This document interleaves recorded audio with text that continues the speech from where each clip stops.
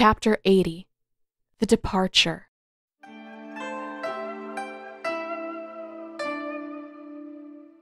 My goodness, Prince Zuko. Uncle chuckled a little as he returned Zuko's hug. This is certainly a more enthusiastic welcome than I expected. Face suddenly flaming, Zuko let go of Uncle and took a step back. What was he doing? He didn't hug people, as a rule, and he couldn't remember the last time he'd done more than tolerate a hug from Uncle. Obviously, things had changed in the past several weeks, but if he kept this up, Uncle was going to think that he'd lost his mind. Before he could back away too much farther, Uncle rested a hand on his shoulder. I am afraid I didn't recognize you at first, my nephew. I am pleased to see you looking so well. Zuko could say the same for Uncle. Or he could have if the words would come to him. As it was, he mostly just felt a wash of relief and warmth at the sight of Uncle, here and safe. Well, that and a bit of moisture on his cheeks. He swiped at them with his sleeve, hoping that no one else would notice. He was a mess. And as embarrassing as it was to have tears in his eyes over something like this, something good, he was too overwhelmed to do much about it. Getting good news just wasn't something that happened for him most of the time. And now that it had, Zuko wasn't quite sure what to do with himself. I'm okay, Uncle. I told you I'd be fine, he managed.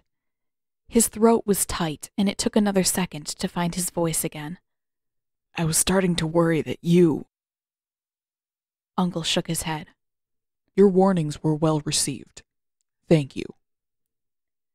Zuko had to wipe his face with his sleeve again, and when he looked back up, he found Uncle peering past him. Avatar Katara, I believe that I must thank you and your friends for looking after my nephew since his arrival. I imagine things would have gone much differently had he not found you all. Zuko was half inclined to protest. He wasn't a child who needed to be looked after, and he was fairly certain that they were all relatively even on that front at the moment. But the words wouldn't seem to come. Instead, he looked back over his shoulder just far enough to see that all the others had risen and that Katara had advanced about halfway across the oasis, looking a bit uncertain. He gave her the best smile he could manage. Honestly, I'm a little glad it took you so long to get here, Katara said. At the beginning, we were all. Well, we had some differences to work out. I doubt you would have been quite as happy to see that part. Uncle chuckled. I imagine the reunion was quite a thing to behold. Yeah, I'm still mad that I didn't get to see that, Sokka said. It must have been hilarious. Zuko's face heated. Shut up, Sokka. Why should I, Ponytail Man? Sokka shot back. Yue raised an eyebrow at Sokka, and Aang shook his head before trotting forward after Katara. It's nice to actually meet you, General Iroh. I mean, after all those times we ran into each other on the way here and had to fight and stuff. Uncle bowed in response. I am pleased to officially meet you as well, Avatar Aang. And Sokka. And you as well, Miss. Since Uncle seemed more than happy to busy himself with pleasantries and introductions, Zuko took a step to the side. His head was spinning a little from the abruptness of so many changes in so little time, and he wasn't sure that he could do more than watch and listen for a while. He inhaled deeply to steady himself. Sokka, unsurprisingly, managed to be an odd combination of suspicious and cheerful toward Uncle. Aang was blisteringly friendly, and Yue was as dignified as ever. All of it was normal. All of them were normal. Maybe Zuko just needed to get a grip on himself so that his head would stop spinning. You okay? Katara said softly, coming up beside him to give his arm a squeeze. He blinked. I. Yeah, I'm fine. Why wouldn't I be? Katara laughed. You look like your head is going to explode. Oh. He shrugged. What if it does? She narrowed her eyes. Zuko. What? This is just. He looked around the oasis, at the ruined ground, the disrupted stones, all the evidence of how close they'd come to not surviving the battle. Then, in the middle of all of it, them. His uncle, his friends, somehow all still safe and whole. It's just a lot, that's all. You look terrified. Did he? Zuko couldn't actually tell which feelings were strongest at the moment. There were too many of them for him to recognize all at once. He was overwhelmed. That was the most fitting word he could find for it. But there was fear mixed in there somewhere, and as much as he wished that he could just push it away and be happy, and he was happy too, the icy fingers of doubt began to spread. Things were going well. Possibly a little too well, knowing his own luck. And the more he thought about it, the less comfortable he was with just accepting all of this. There were questions he needed to ask first.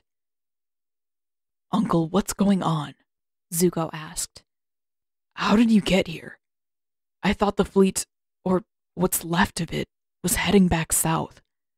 And how did you find us here? Isn't this place supposed to be secret or something? Yue frowned. Not not entirely secret, but it is sacred. And since very few people visit, it isn't especially well known, even here in the city. She turned a wary look on Uncle. It isn't that you're unwelcome here, sir, but Zuko has a point. How did you manage to find us? Ah.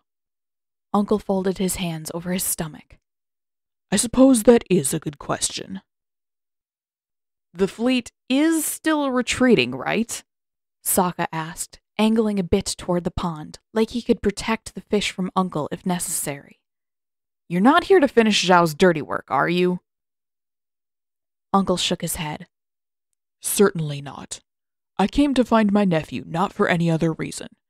And as for how I managed to find you all. As though on cue, the hatch opened again, and a tall, thin old man with long, wispy gray hair emerged into the oasis. The arrangements have been completed, General. If you're ready. Zuko's brow furrowed. He didn't think he'd ever seen the old man before, but his voice was familiar. He couldn't quite place it, but he knew that he'd heard it some time before. Master Pakku! Katara exclaimed.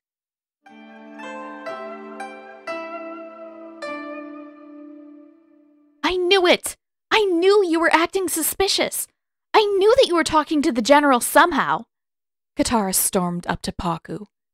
Don't try to deny it! There's been something fishy going on for ages now! Pakku narrowed his eyes down at her. I don't think you have much ground to stand on, young lady. He shot a pointed look past her at Zuko, then fixed her with a glare again.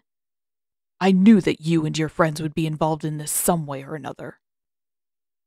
Involved in what? Sokka cut off when Zuko glared at him. Oh, yeah, hiding Mr. Grumpy. That's fair. Halfway across the oasis, Zuko turned back to the general. Is that true, Uncle? We figured out that you were talking to someone else up here, but that guy? Katara turned on Pakku too, arms crossed. And why didn't you tell us anything about what was going on? Wouldn't it have been helpful for everyone to know that you had inside information? Pakku's scowl deepened. I was never able to ascertain anything more than what you and your friends shared with the Council. My inside information was just as limited as yours.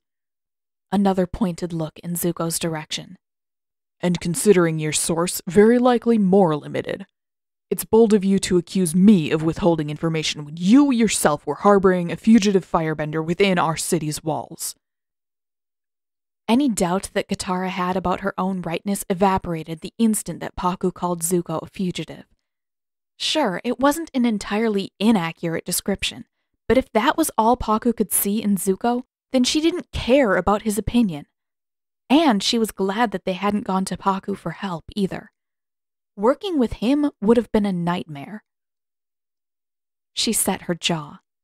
We told the council everything we knew except for the fact that Zuko was here. And I still don't think we were wrong. If this is how you're acting, then I really don't want to know what the rest of the tribe would have done to him. He risked his life to come here and help us. We weren't about to let him get killed over that. Had he come forward when he first arrived, the matter would have been far less serious then. What is that supposed to mean? Katara demanded, voice creeping upward. Don't try to pretend that you would have protected him.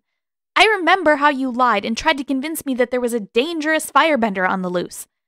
What was I supposed to do when that was what you thought of my friend? Pakku froze and his expression darkened. Friend? Then it's worse than I thought. Katara, you must understand how irresponsible it is to place any real trust in someone from their blasted nation. They deserve nothing but suspicion. It came as something of a relief when Katara glanced toward the others and found Zuko too engrossed in conversation with his uncle to hear what Pakku was saying about him. Still, her temper flared. She was the one who had the most experience with the Fire Nation. She actually knew Zuko. Pakku couldn't say the same, and he didn't have any right to talk about Zuko that way. You brought the general here, she said sharply. Why do you get to criticize me for working with Zuko when you're helping out his uncle? Because I am not here to help General Iroh specifically. I am here for the good of my tribe, not the benefit of another nation. That's what you're calling it? And how is helping the people who made sure we knew the attack was coming not for the good of the tribe? Do you have any idea how much worse things could have been without them? Pakku's glare remained steady and cold. I am aware, and that is why I intend to ensure their departure and nothing more. The sooner they leave us, the better. Katara's breath caught. Leave? Was that really what this was all about? Pakku just wanted to get rid of Zuko and the general? She couldn't believe that. Steeling herself, she straightened her shoulders. We don't need your help for that. We have Appa right here. We were already planning to sneak Zuko back out of the city later this morning. His uncle doesn't change that plan. We'll just have to bring them supplies more often than we were planning on. You misunderstand me, Katara. They are leaving the North Pole, not just the city. The preparations are already made, and they will be out of our waters by this time tomorrow. But you can't do that! Pakku frowned. Why shouldn't I? Because. Her voice cut out. Because she couldn't fathom the idea of asking Zuko to leave. She knew that he couldn't stay here in the city when Chief Arnook was determined to hunt down any firebenders the fleet might have left behind, but she'd thought that they had a solution for that. They'd been hiding Zuko for so long now that the possibility of sending him away had never once occurred to her. He was her friend. How could they be separated now? Please, she said, her voice dropping to a near whisper. Her eyes began to prickle. Please, just give him a chance. There's no reason why he should have to leave now. Pakku stared at her impassively. Please, Master Pakku. He's been here for weeks, and you know he's only helped us. If you let him stay, I promise that I'll make sure there isn't any trouble. Pakku kept staring, but his glare gradually shifted into a simple frown. It isn't entirely my decision to make.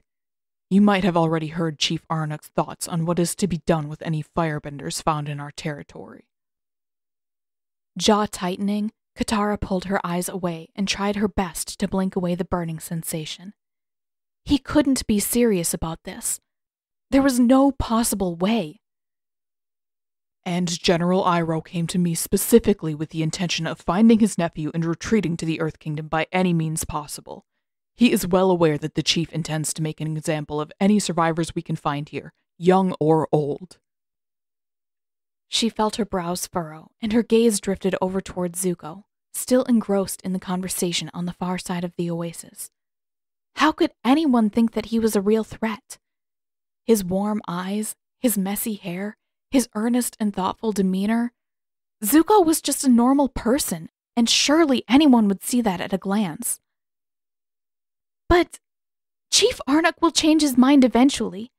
If he knows that Zuko is just a kid and that he's been helping us all along, then he has to. Do you know how many lives were lost in the fight? He has no such obligation, especially after losing his own chosen successor. Her throat went tight, and the burning around her eyes intensified. No. No, he can't. Arnook couldn't do anything that drastic, certainly not for Hahn's sake. Could he? Pakku reached across and very, very awkwardly patted her shoulder. That is why I've made arrangements for safe passage out of Water Tribe territory. So long as they move quickly, they should make it out safely. But. Her voice broke, and she pulled away from Pakku's grasp with a little less force than she wanted to. There has to be another way. We still have a few hours. If you'll just give us a little time to think. There is no other way. If they choose to squander this opportunity, there will be nothing I can do to help them. Katara looked over at Zuko again. He was still listening while the general spoke, and judging by the solemnness in his expression, she could only guess that his uncle was explaining the same thing that Pakku was telling her, likely in a much better way than Pakku could. For just an instant, Zuko looked her way, and their gazes locked. There was something sad, something lonely and lost in his eyes, but he didn't seem distraught. He seemed calm, accepting. Like somehow, some part of him had been expecting this day to come, and the pain didn't hit quite as deeply because of that. There was an ache in the middle of her chest, but the steadiness in his gaze brought her back down to earth. Katara drew a long, steadying breath. Where is he supposed to go? she asked, just barely over a whisper. His own people want him dead. And he's a firebender. If he goes into the Earth Kingdom. Her voice cracked again. He's never going to be safe like this. Pakku frowned. That is not my decision to make. General Iroh is here to retrieve his nephew, and I assure you that if there is anyone in the world with the connections necessary to find the boy a safe home, it is the general. Katara's throat tightened again. I know, but. Pakku raised an eyebrow. But? But Zuko was her friend. She cared about him. So much so that care didn't feel like a strong enough word. And even if Pakku was right, even if Zuko was okay with this, Katara didn't think that she could be. Just the thought of watching him leave made the horrible, aching emptiness in her chest start to grow. This wasn't fair. How was it that she already missed him when he was only a few dozen paces away?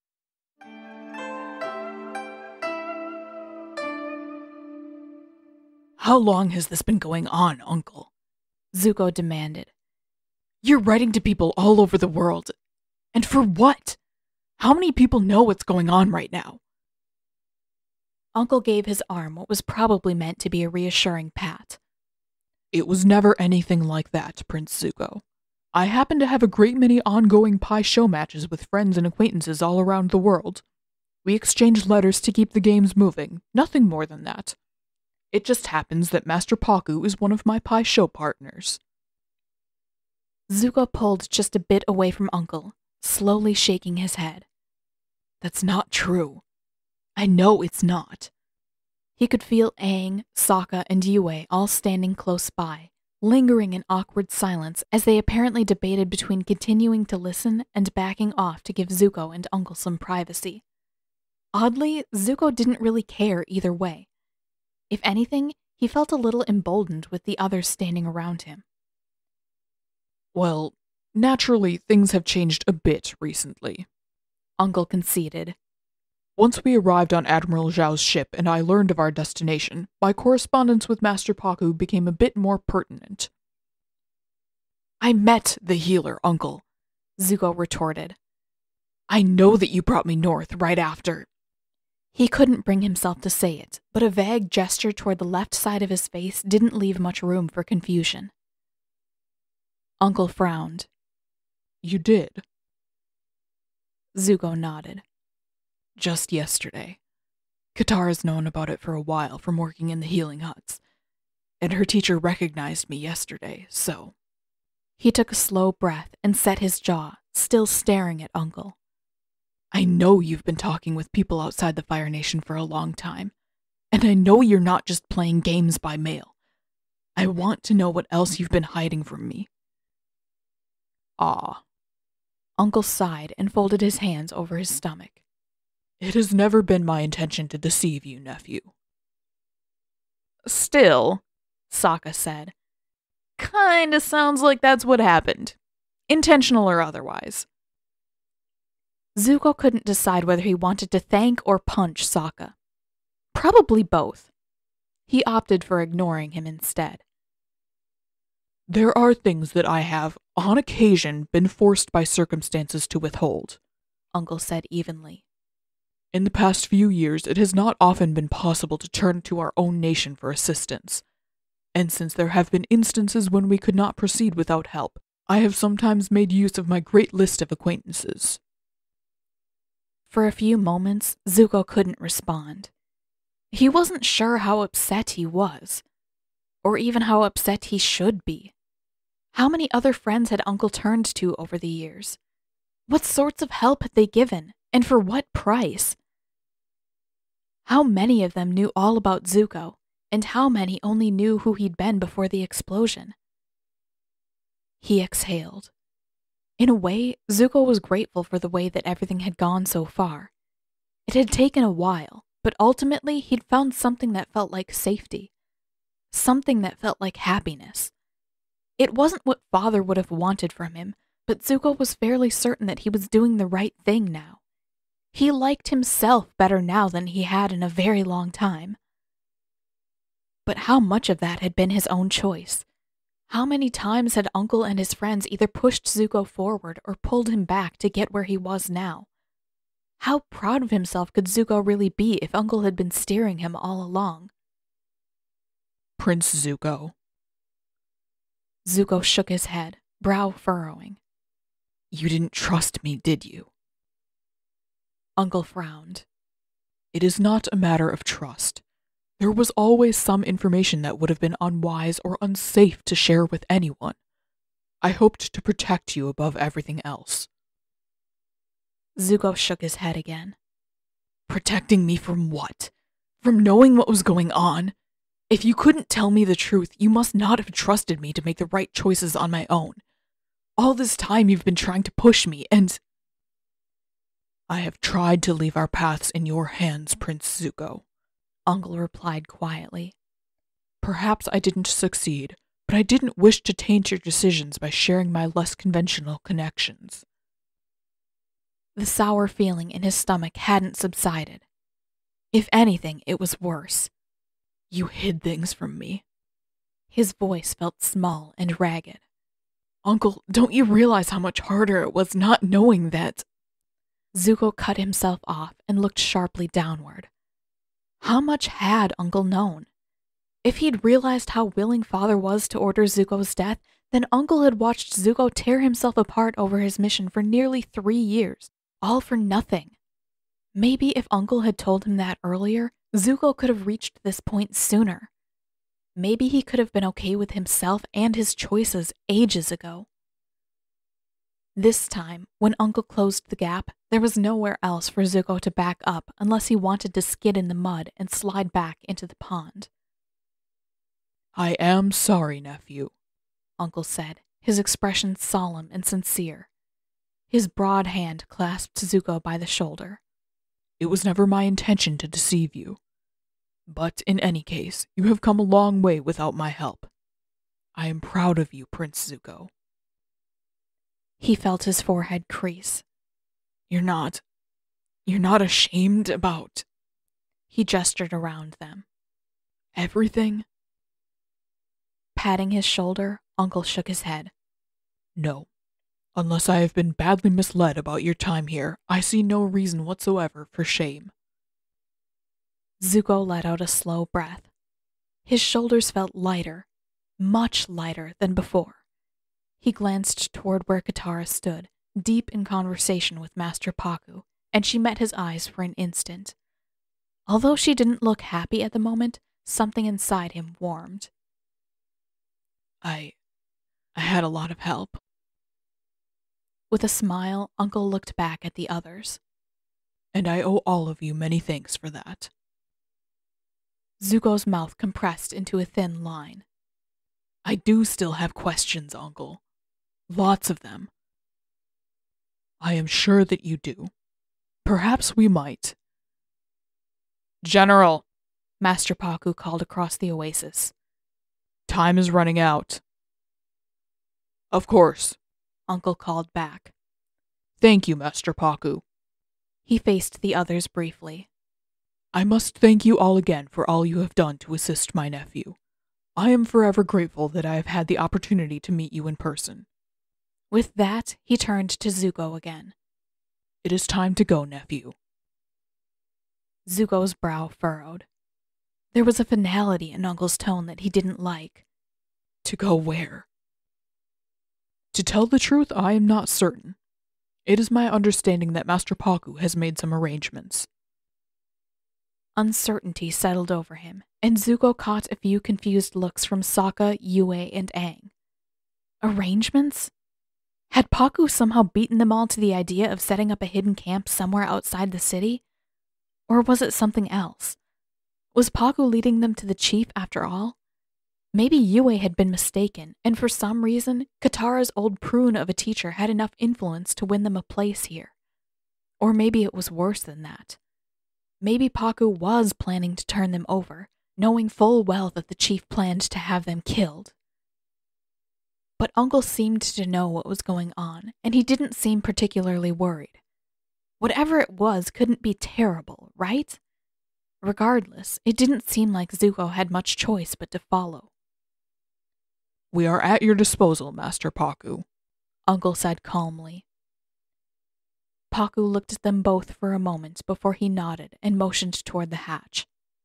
Come along, then. Zuko glanced at Katara and she met his eyes. Then, before he could decipher the look in her eyes or ask whether she knew what was going on, she grabbed onto his hand. Katara, Pakku said sharply. You should stay here with the others. Her grip on Zuko's hand tightened. No. Katara. Just try and stop me, she practically snarled.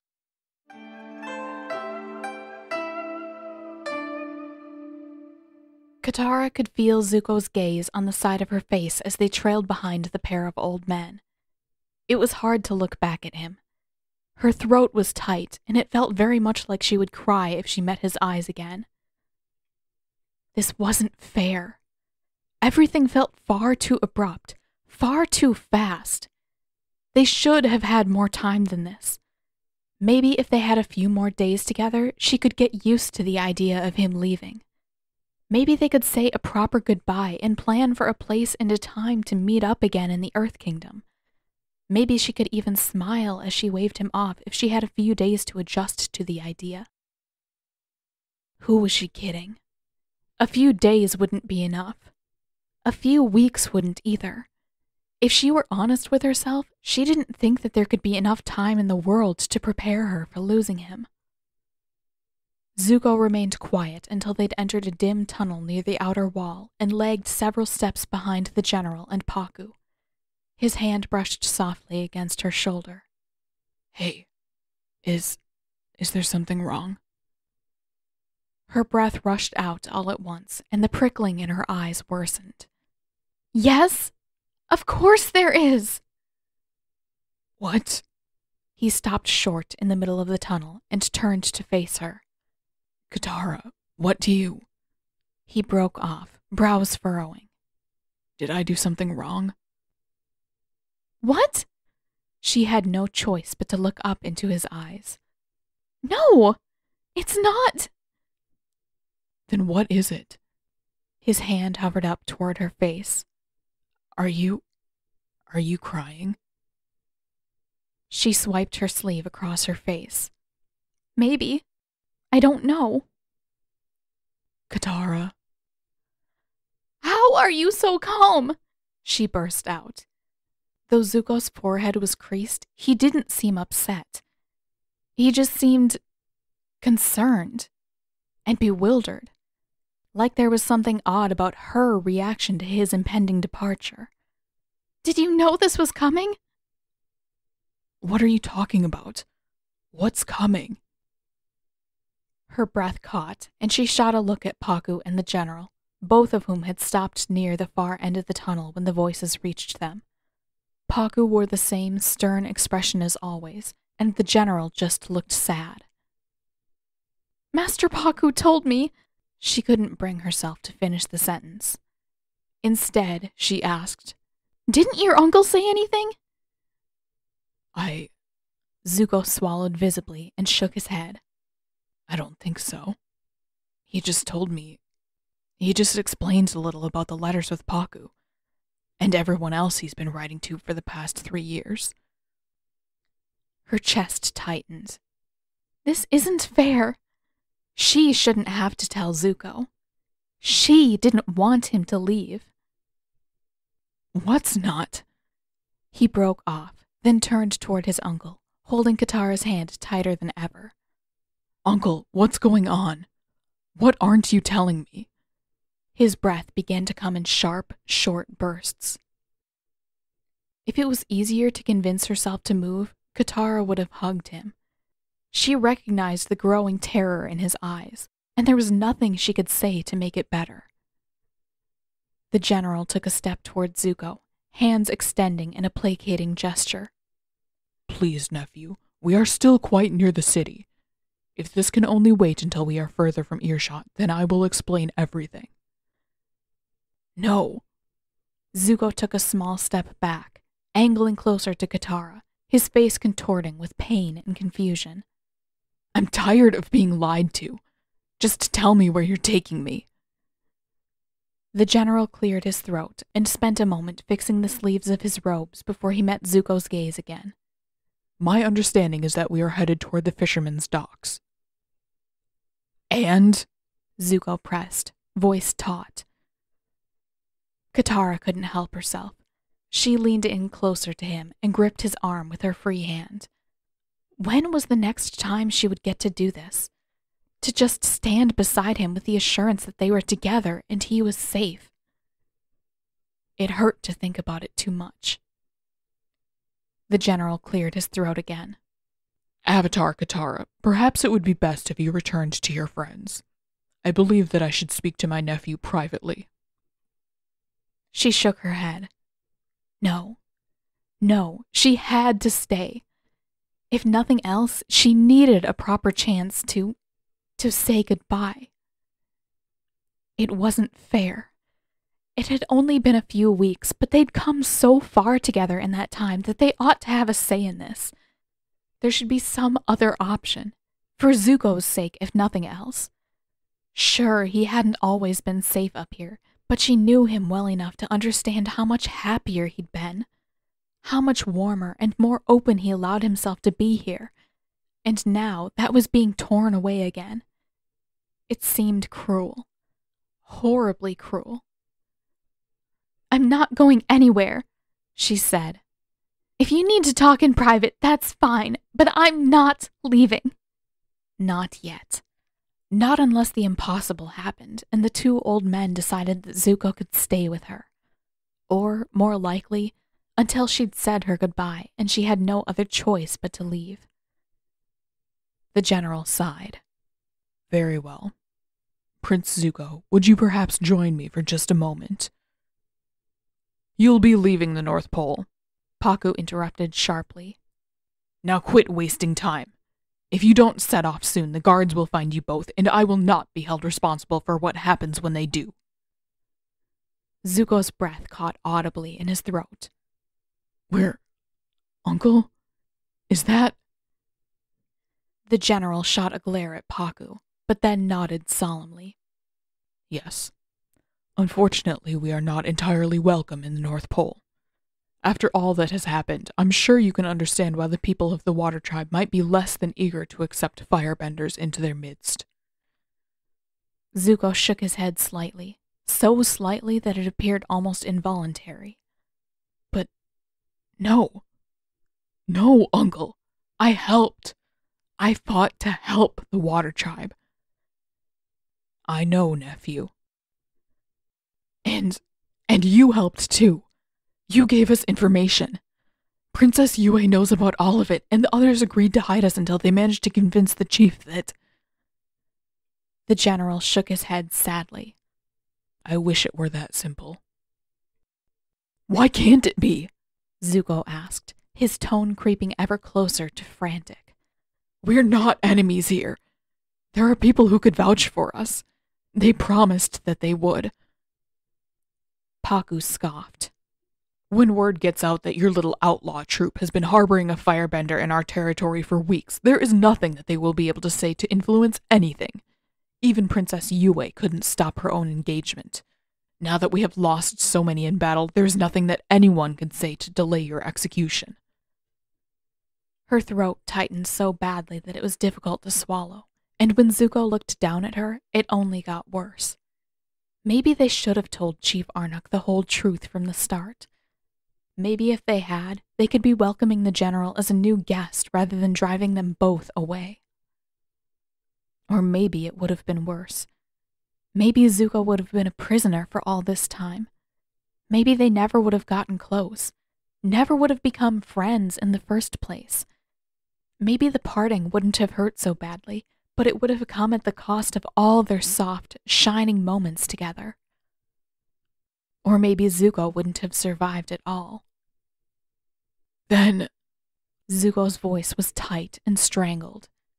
Then we can all leave together, right? Please. Under no circumstances will you be taking Katara along with you, Pakku snapped.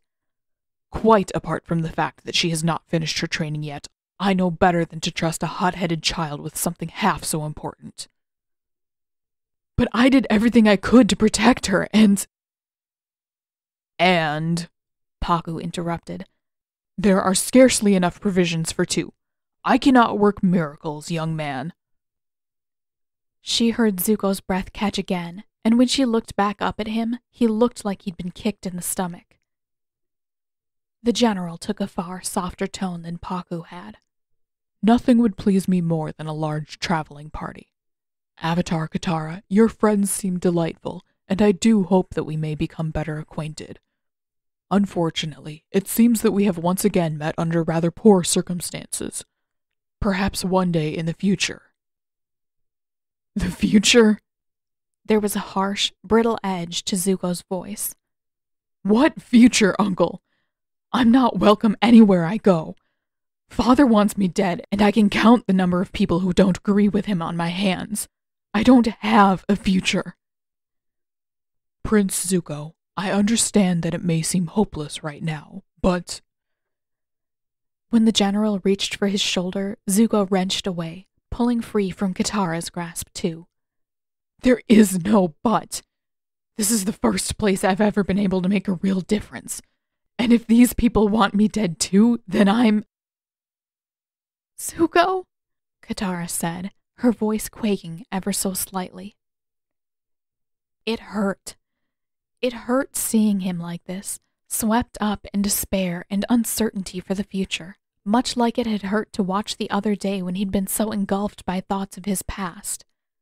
The problem was that this time she wasn't sure whether she could fix things, whether she could even help. If only he could stay somehow, she knew that they could find a way to make things work. She knew that he could have a place to belong, a purpose to pursue. He would find his way with help. She trusted him with that. But if he couldn't stay, nothing was certain anymore. He looked at her again, and the pain, the anguish seemed close to overflowing. There is always hope, the general said quietly. Please, Prince Zuko, we must go. Zuko looked away, eyes fixed on nothing, and shook his head almost involuntarily again. This time, however, when his uncle reached toward him, Zuko didn't just pull back. This time, he bolted. Zuko! Katara called, her voice breaking mid word. The general shot an apologetic look back at Pakku. I am sorry, Master Pakku. It may take a bit longer than I anticipated, too. That was all that Katara heard. By the time that Zuko made it out through the archway and into the street, she was already sprinting after him as fast as her legs could go. It didn't take long to catch up with him. There was a stairway leading up the side of the city wall just a few dozen paces away from the mouth of the tunnel, and Zuko had stopped there, dropping down on one of the steps. His head rested in his hands, and his shoulders shook. Katara's boots made a slight crunch in the snow, and she had to stop, eyes burning. I can't do this, Zuko said, each word sounding faint and choked. I can't. Zuko, she said again. It was the only thing she could think of. There were no reassurances, no comforting words that she could offer him. She could barely even speak. His head raised just a tiny bit, and he drew in a sharp, shuddering breath. I don't want to leave. Can't, can't Uncle see that? He wiped his eyes with his sleeve, and his shoulders shook even more forcefully than before. I don't want to go. I. Her throat burned, and she had to stop to regain control over her voice as she wiped at her eyes as well. What choice did she have? Pakku knew about him now. Even if she wanted to keep Zuko here, to keep him hidden and safe somewhere near the city, all it would take was a word from Pakku to bring everything crashing down. I think you should. His head snapped upward, and his eyes locked with hers. You you do? His forehead creased, and the wave of pain that washed over his face was so palpable that she could feel it in her chest from several paces away. She swallowed hard, but the tears wouldn't stop. I don't want you to leave. I just. She came a little closer before her knees buckled, and she ended up crouched in the snow just out of arm's reach. I can't lose you. Not like this. Then I'll stay. He slid a little farther forward. There's a way, right? There's always a way. We can make this work. It took a surprising amount of effort to shake her head. I think. I think that leaving is the only way. Tears streaming, Zuko shook his head. No, it can't be. Katara, this is. You're. She reached out as far as she could and grabbed hold of his hand, clinging to it with everything she had. I'm going to lose you either way, Zuko. And if you try to stay here, I can't watch my best friend die. There's no way. If I have to lose you, then I at least need to know that you're safe. For a little while, Zuko just looked at her, brows drawn and forehead creased. Then he swiped at his face with the heel of his hand. Can't I just be happy for a few more days? If I leave here, someone will probably kill me anyway, sooner or later. No one out there. No one cares about me. At least if I stay, maybe I won't have to be miserable for the rest of my life. She took a deep, shuddering breath before sliding closer to him. Her hand trembled just the smallest bit before cupping softly around his cheek. But I can't stand by and watch that happen to you. You mean too much to me. His eyes closed, and although she half expected him to pull away, he didn't. Instead, he remained perfectly, impossibly still for the length of a few heartbeats. Finally, though, he opened his eyes.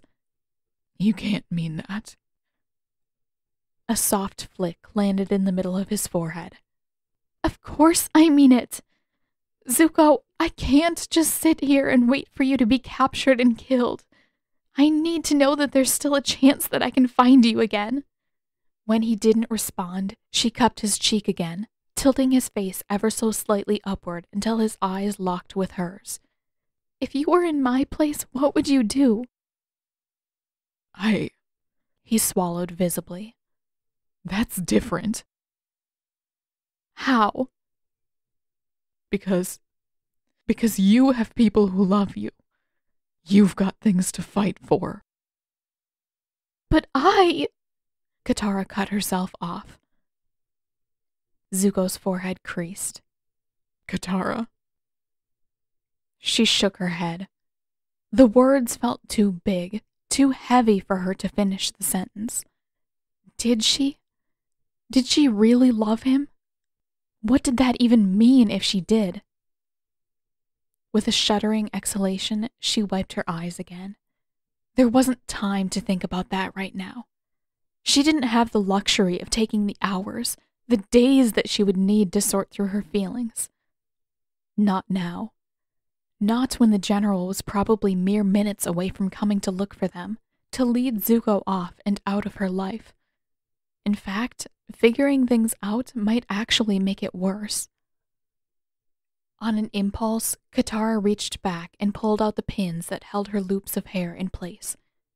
Carefully, deliberately, she removed the beads from near her temples and allowed them to drop into the palm of her hand as the now loose locks fell to either side of her face. Zuko stared. What are you? She pulled his hand closer, tipped the beads out, and pressed his hand shut around them before she met his eyes again. I'm giving you something to fight for. His brow furrowed, and he looked down. Please, Zuko. If you go with your uncle now, I promise that I'll come looking for you as soon as I can. This doesn't have to be the last time we see each other. And when we find each other again, I can give them back. Pressing her lips together, she shrugged. Only if you want to. I just want you to keep them safe. And, much more importantly, to keep himself safe. Zuko took a long, shaking breath. I don't want to leave. Her hands tightened around his. I've never. I've never had people who cared about me outside of Uncle. And my. He swallowed and shook his head. I don't want to go back to the way things used to be. I don't want. His voice broke. Katara leaned forward and buried her face into his shoulder. I care about you, Zuko. No matter where you are, I'll still care. He'd begun shaking again, but he hugged her back. I just. I want more time.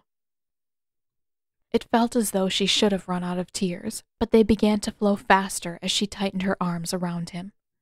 Me too. But I don't think it's ever going to be enough.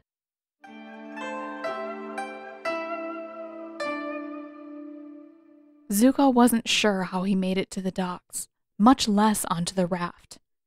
He was numb. Utterly, impossibly numb. He thought that he walked there on his own. He was fairly certain that Katara had held his hand all the way to the docks, and he knew that she'd pushed Master Pakku away when the old man tried to guide her back into the city before the raft was out of sight. That much was clear. But everything else it was foggy at best.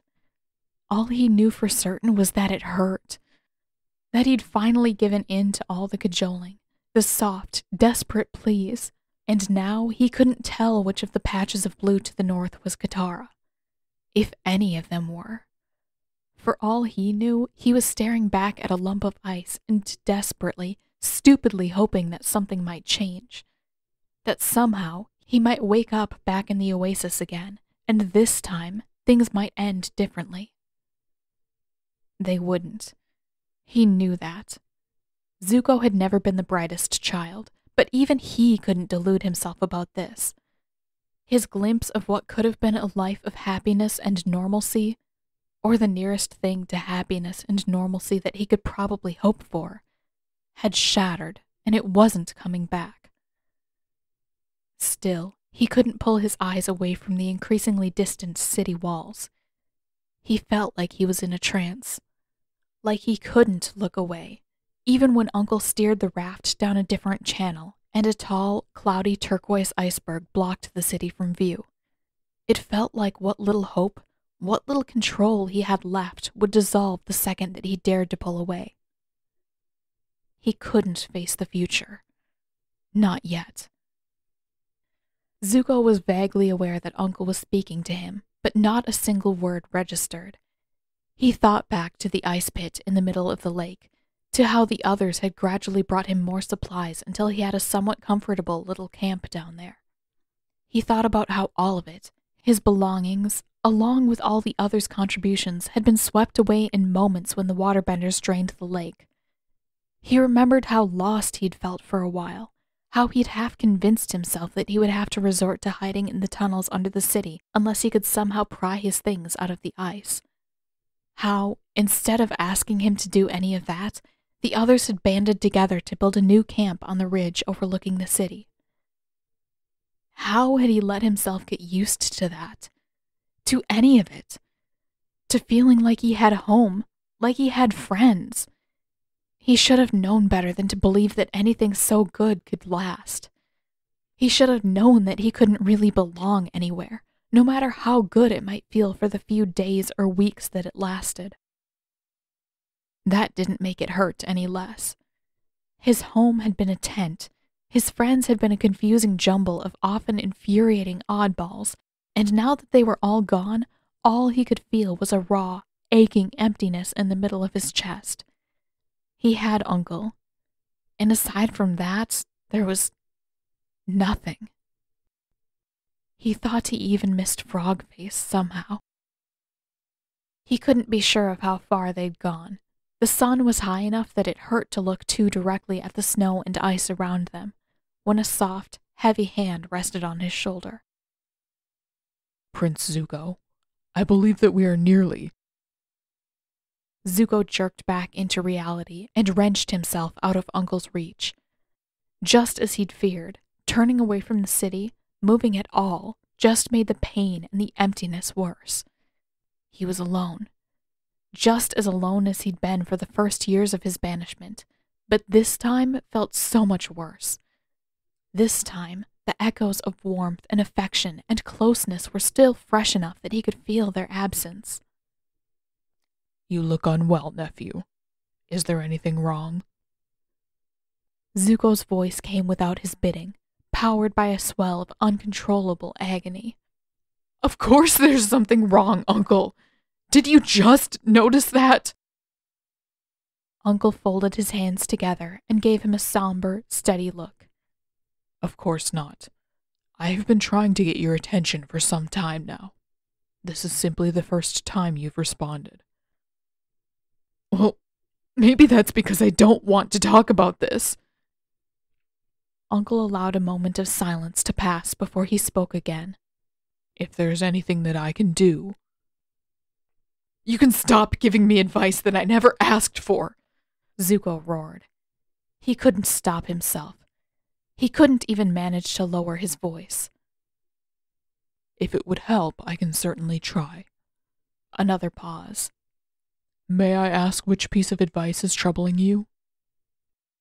You're always telling me that I should make friends, saying that it would be good for me. Uncle gave a small nod and I still believe that. I made friends, Uncle, and I don't. I don't see the point in having friends when it hurts this much to leave them behind. His voice cracked on nearly every word, and he could feel his shoulders convulsing with the sharp, gasping breaths. His hands clenched so tight around the little blue ivory beads that Katara had given him that he was half convinced that they would sink straight into his skin. Prince Zuko, Uncle said, voice soft.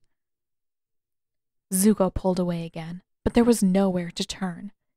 He made it just a few steps toward the other side of the raft before he dropped down, burying his head in his hands. You never told me that I would have to leave. There was a considerable pause before Uncle approached. A hand rested on Zuko's shoulder again, but this time Uncle pulled him in against his soft, round side. I am sorry, nephew. I am so sorry. Surely, sooner or later, Zuko would run out of strength.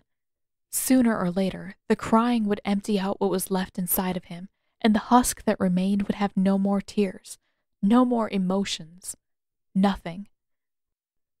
Sooner or later, it had to stop hurting. For some reason, that time refused to come.